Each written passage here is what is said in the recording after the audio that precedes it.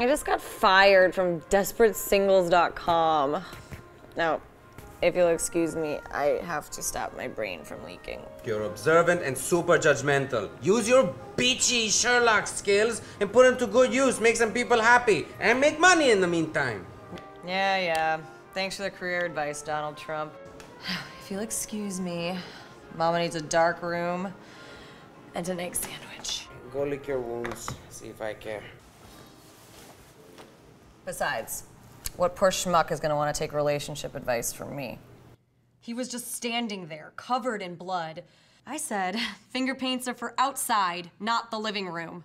Mommy works hard to pay the bills and keep the house clean. Do you see a daddy? Huh? No, you don't. Daddy moved one foot in front of the other and never looked back. And what did you do, Gloria? I hit him on his butt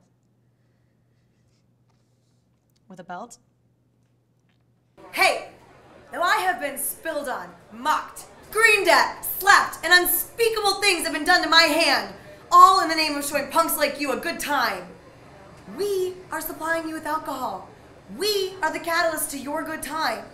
We make your jokes funnier, we make your stories more interesting, and we make your date better looking. Show a little appreciation by tipping appropriately. Everybody wins. Who was that? Huh?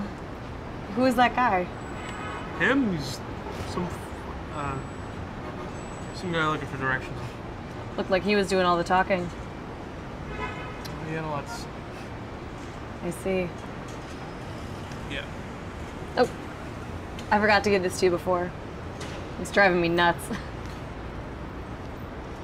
Red over there has a first edition of Walking Dead in her bag, which means she liked graphic novels before they were the new Twilight.